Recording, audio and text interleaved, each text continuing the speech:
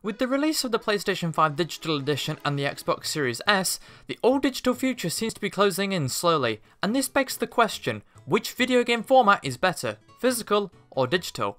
Well, today I hope to answer that question. To do this, I've thought of several different pros and cons to both physical and digital video games. So, let's begin.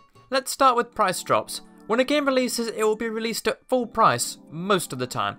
Then when sales start to calm down, the price of the game drops, but this happens at different times for physical and digital games. Within a year, I've seen physical games drop to either half price or a third of the original price. Not bad, right? Now, in terms of digital games, they take a lot longer to go down in price. They'll stay at their original retail price for a long time. However, digital games get more frequent discount sales. Granted, this is usually only a small discount if the game is still new, but once the game ages a couple or few years, they can go down to a fifth of the original price from what I've seen on console digital stores. And if you're on Steam, you know how good those sales are. Another factor of physical is finding bargains in places like yard sales or charity shops. If you're lucky, you can find some real deals in there if people don't know the value of their games. Now, when it comes to playing your games, physical and digital have their pros and cons each. With physical games, you can just insert the disc and play. That is on systems older than 7th generation consoles. When it comes to the 7th generation of consoles and onwards, updates in digital games became a reality. Digital updates on the PS3 and Xbox 360 aren't too bad since they're small in file size, but then we hit the 8th and 9th generation of consoles and oh my god, this is where updates become painful. Inserting the disc will install the game quite fast, but then downloading and installing a game directly from a server can be a long time if you don't have good internet speed. Sure, if there's updates for the game, disc or digital, you must download them, but digital means fully installing the game, what would be on the disc, and updates. One last thing about digital, although you must completely install the game, you do get instant access to the game you bought, meaning you don't have to wait for the game to arrive in the mail, or go out to buy, or click and collect it from a store yourself. Speaking of buying physical games from a store, one advantage that physical has over digital by default is the fact that you can trade them into a second-hand store or sell them on eBay. With digital, you buy them and can't return them. Yes, you can get a refund for a game on Steam if you played it for less than 2 hours or had it less than 14 days and not played it, but that's not trading in. To be fair, one advantage digital has here is the fact that you know your game will work if it's programmed correctly, of course. Buying secondhand is sometimes risky since it could be from somebody who has not taken care of the game. For example, I remember getting a used copy of Shadow the Hedgehog for the PS2 years ago as a kid, and the disc was in such bad condition that when I got to level 4, the stage didn't load most of the floor after a few seconds and the music wasn't playing, so I couldn't go on any further. Another problem is the game can just stop working completely after many years even when taken care of. However, this is more of a problem with old cartridges than discs if taken care of. About old games, storing games.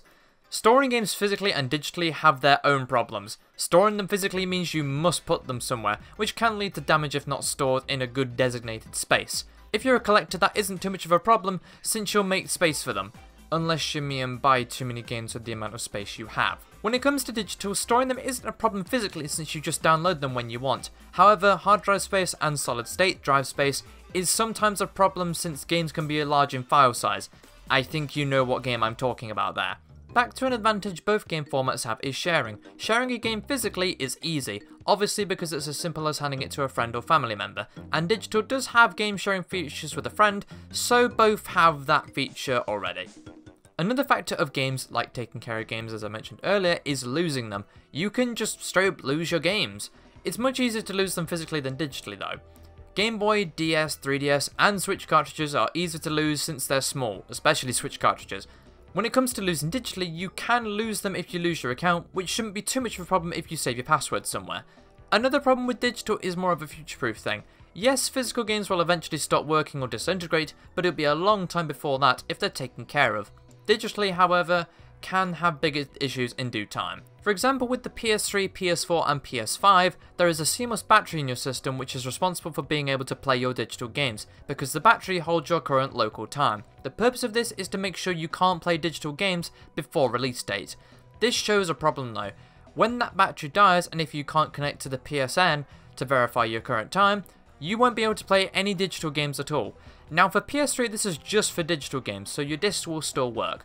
However, on PS4 and PS5, it's for most disc games now. Now this is a worst case scenario here, so it's nothing to worry about right now, and Sony is looking into the issue on how to fix it, so that's good. Another point here is the fact that digital games are licenses to play them, so if your license is revoked, then you can't play them. However, I don't see that happening at all either. PS4 disc games are also just licenses now, but again, this is thinking the absolute worst when there's still plenty of time for this issue to be rectified. Next up, and one of the best things about digital, in my opinion, is it makes selling games much more accessible to indie developers. Seeing as making lots of physical copy of games is expensive, and indie games won't need a 50GB Blu-ray disc to fit their games on, it's a much better and cheaper option to put it up on Steam or console digital store up for a smaller than retail price. Another perk of digital is eliminating rarity of games. For example, Gravity Rush Remastered, fantastic game by the way, is a moderately rare physical game and costs more than retail price, whereas on digital stores it's easy to find and it's only £24.99 I think, plus it goes down to around £8 on sales. One last thing digital has is Xbox Game Pass. The value of that is crazy because of the amount of games you get for the price of it per month. One last thing about physical is collector's editions. This isn't particularly an advantage, but you can get some cool stuff in there that digital just can't offer.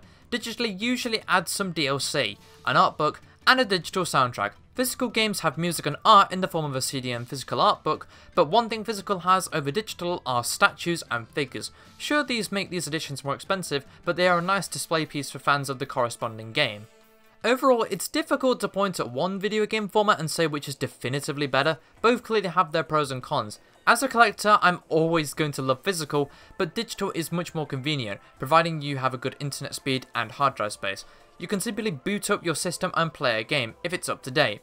Well, what do you guys think? Let me know in the comments below, let's have a friendly conversation. That's all for today everyone, thank you so much for watching and listening, I'll see you later, goodbye.